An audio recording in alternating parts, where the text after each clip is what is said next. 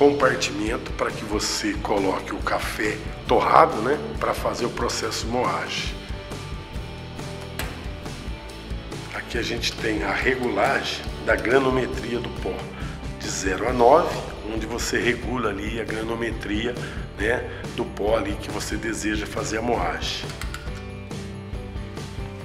Esta alavanca, você limpa o compartimento da câmera aqui, a hora que você termina o processo de moagem, você limpa que elimina todo o, o resíduo do pó que ficou ali parado. E finalmente esse compartimento você tira ali o resíduo ali que ficou parado ali embaixo para você fazer o descarte, tirar e limpar a máquina.